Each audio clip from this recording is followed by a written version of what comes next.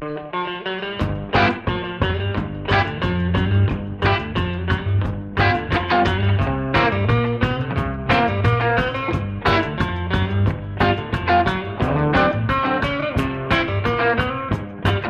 we are at the Laws Museum at the 20 Mule Team Borax Wagon Display, and we have Jay.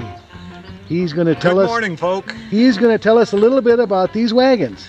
Yeah, these wagons are exact replicas down to what kind of wood they're made of, uh, the kind of metal, and the uh, the fact that the metal is not arc welded at all.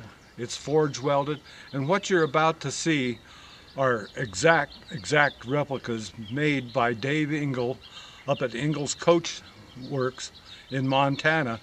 And I will say, there's a word used far too often uh, in today's world that that word is awesome, but these wagons you'll see are awesome. Go on in.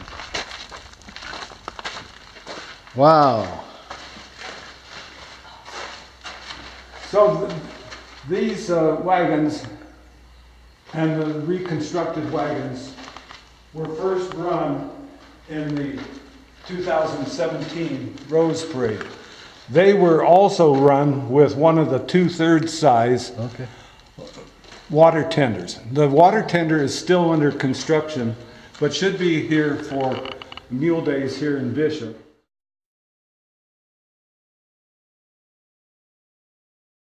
So this is pretty amazing. Now this wheel is how big? It's seven foot in diameter, over 1,000 pounds Just for one. for just the one wheel. And it's got a steel tire on it. Yes, the, the steel tire is what might have been rubber in today's world, but it's one inch thick, eight inch wide steel that has to be heated in a fire to uh, be put around the pre-constructed wood frame and then shrunk fit to the wood frame so that it will never come off. Now this looks like it's oak to me. Is that correct? There is some oak. On the I spokes and all understand that? that this is uh, ash on the sidings. That's an eastern ash and uh, eastern oak wood. I'd, I'd like you to take a look at, at those places, for example, up here at this eye on the brake level. Yeah. Well, No, you can go no arc, no, no arc welding there. Uh-huh. That's all forge welded.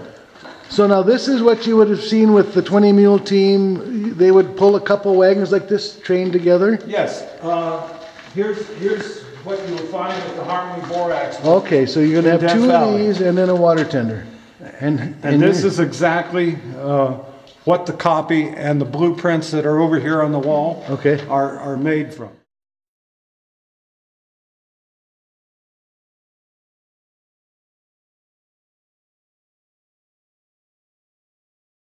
And what would we put in the barrel? Those, as I know it, were water also. Okay. Here's, here's the route that they took. Some of their camps were dry camps. Uh-huh. Uh, there were only two teamsters. Well, one was a teamster, one was a swamper that took care of the mules uh, and. Mm-hmm. That's the swamper, the Yes. mule, he's the mule tender. Yeah, he's, he's the fellow that puts on the harnesses in the morning, takes them off, makes sure they're fed. He's also the brake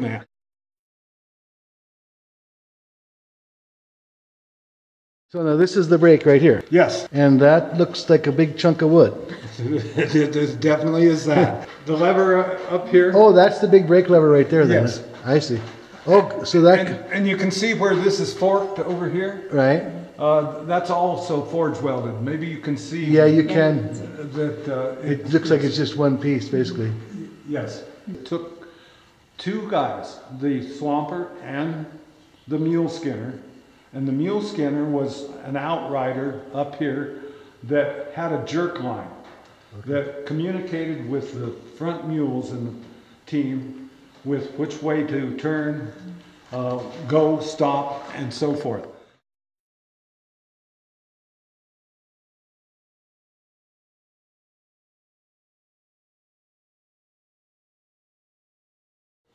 The, the mules learned to jump this chain.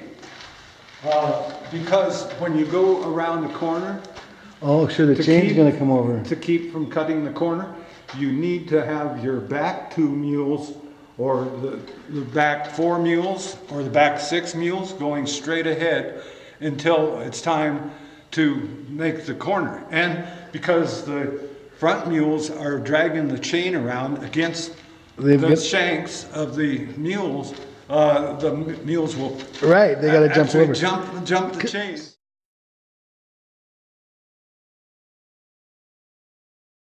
Now, Yes, w- one mule would be attached to one of these, yes. what do you call Those are that? called single tree. A single tree.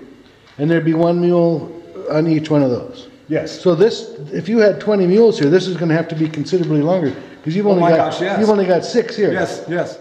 Fourth of July Parade, 2017 in Washington DC. And if you want to watch that on YouTube, It's on there? it's on there. And if you have a patriotic bone in your body, it's going to vibrate because seeing these 20 mule teams, the people cheering, and uh, the whole thing, the whole train going down Pen- Pennsylvania Avenue. Well, those are pretty cool. Uh, It's not cool, it's awesome. oh, it's awesome. Okay, thanks, Julie. I, I, I really do believe uh, these are awesome, and we're really looking forward to uh, getting the water tender in here. We're Now, are you gonna have room to, for uh, them in here? Yes, they're- they'll actually go behind the existing wagons. Okay. We've measured. Uh, And uh, there's also going to be an exhibit up here of harnessing techniques. uh, When, when, and we're hoping to, at some point, have a a diorama on some of the walls uh, showing the mules coming out of uh, Death Valley. Okay, Jay, well, thanks so much for explaining all these mules to us. I appreciate it. And, uh, Thanks for visiting. It's- Yes, It's uh, been my pleasure. yes, likewise. And we'll have to come back and see you again sometime. Oh, please. And I hope everybody out there that sees this comes and sees the Borax wagon display. It's pretty cool.